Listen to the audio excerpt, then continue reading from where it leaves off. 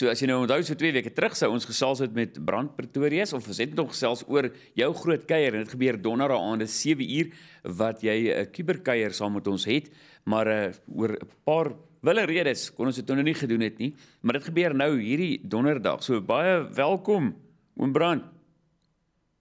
'n uh, Goeiemôre Jornay en uh, lekker om jou stem te hoor en goeiemôre aan al die kykers. Ja, maar dit is so lekker vroeg en koud. Ja, dit is my hoop daar's 'n kaggel daar.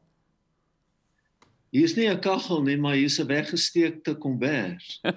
Daai slim. Ek sit met 'n truitjie om my knie in die oggende. Ek wil ons gaan nou lekker uh, donderdag bietjie meer uitvind oor die agtergrond en ehm um, en ek wou hom geswat het en alles, maar ek wil bietjie uitvind die, weet ons het vinnig laas geraak in die besigheid met met COVID-19. Maar ek dink ook daar is besigheidsmense wat amper vir geleenthede soos hierdie. Ek het nou gister so 'n interessantheid gesien as mens kyk na die Edcon groep Ehm um, en toe die Fusini groep toe nou die Jet winkels oorgekoop wat hulle nie wou nie, maar ek kan dink as 'n ou en groot besigheid is, uh, weet dinge kan half vervelig raak. Ehm um, en dan ook die ondervinding met daai jare met McCarthy wat so diep in die moeilikheid was. Jy weet, dis nou nie oor COVID gewees nie, maar dis dieselfde ding. Jy sit met 'n maatskappy, jy sit met verskriklik baie werkers. So so dink ons daar's daar's ouens wat leef vir geleenthede soos hierdie om te sê, nou kan ek opstaan as leier, nou kan ek nou kan ek besigheid doen. Jy maak 'n baie goeie punt, uh, Jonay.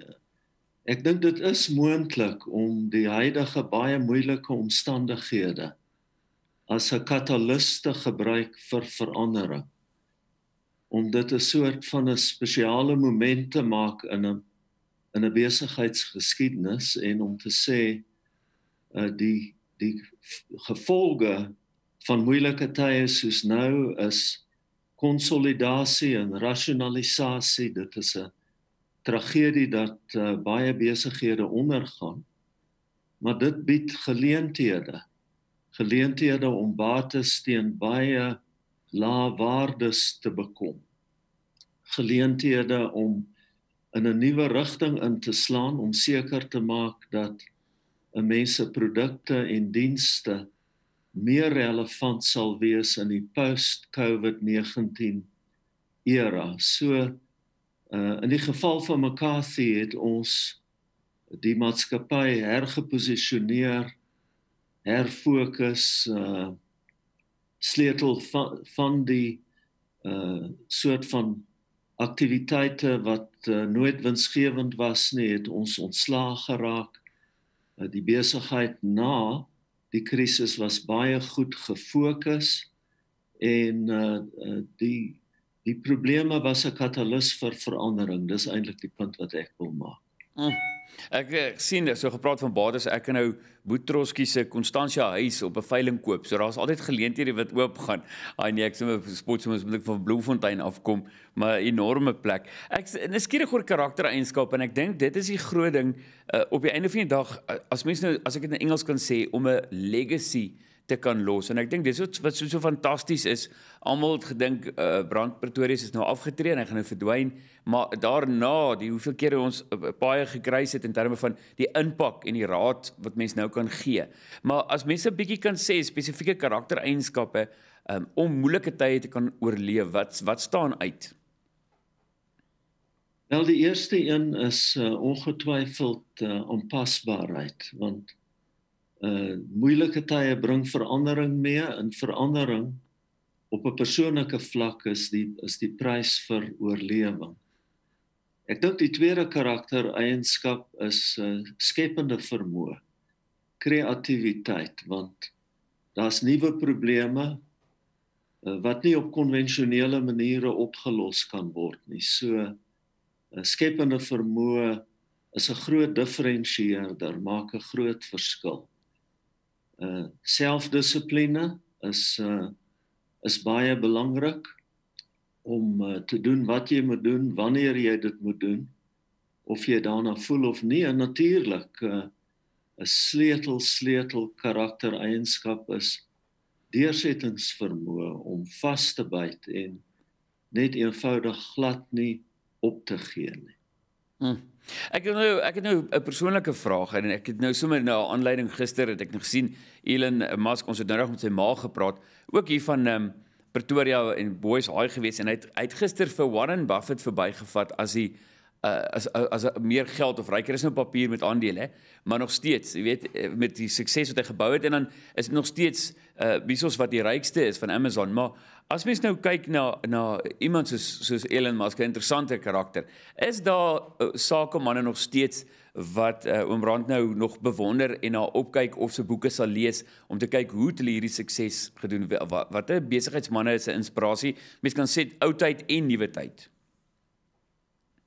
Ja, nee, ek het uh, heelwat uh, rolmodelle in uh, net 'n opmerking oor Elon Musk. Uh, die waarde van Tesla, sy motormaatskappy, het nou die waarde van Toyota verbygesteek. En Tesla se markkapitalisasie is twee keer wat uh, Ford en General Motors gekombineerd se markkapitalisasie is. En om terug te kom na die Toyota voorbeeld, 'n Tesla verkoop maar 4% van die aantal voertuie wat Toyota jaarliks verkoop, maar die mense se toekomsverwagting vir Tesla is, is is baie hoog.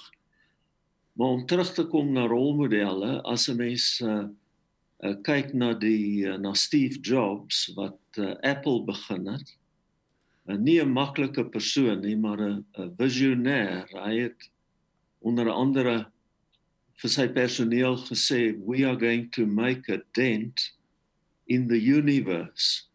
So 'n dromer, 'n baie ambisieuse sakeman.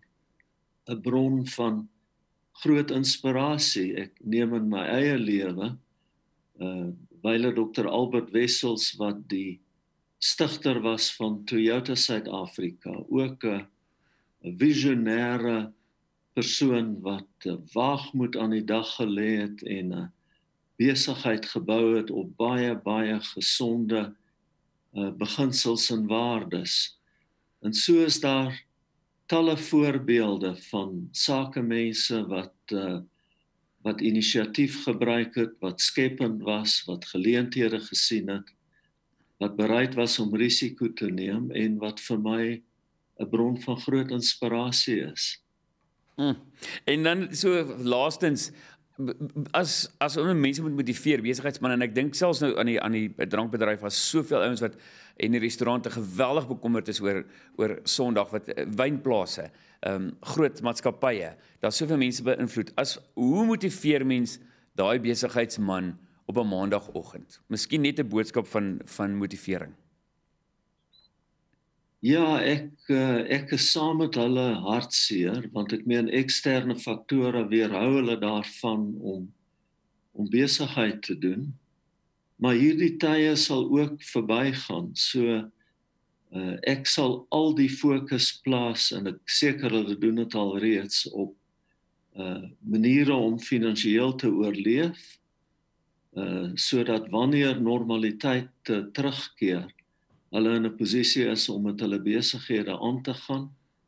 En wat ek oor die jare geleer het is dat aksie verdryf vrees. So hoe meer senuweeagtig ek geword het, hoe hoe meer het ek iets daaromtrent probeer doen deur planne te maak, inisiatief te gebruik. En laastens wil ek vir sulke sake manne sê, uh op 'n of ander manier en en, en ek sal aanbeveel dat dit geloofsgebaseer is bly hoopvol. Uh, want hoop is die lewe self. Uh, as 'n mens hoop verloor dan is daar bitterlik min oor. En soek redes om steeds hoopvol te bly Mm, daai is die perfekte boodskap vir hierdie dag. Maar uh, we brand sien baie uit na donderdag aan. Dankie vir die tyd en geniet die dag. Baie dankie Jorney en geniet die dag ook en uh, alle seën en voorspoed vir die kykers en ons sien uit om julle donderdag aand weer te ontmoet. Mm, Fantasties. Dit was 'n uh, Brand Pretorius en onthou jy gaan 'n groot FM.co Bezera klik dan net daar op jou groot kuier, koop jou kaartjie. Dis donderdag aand 7uur jou kuberkuier.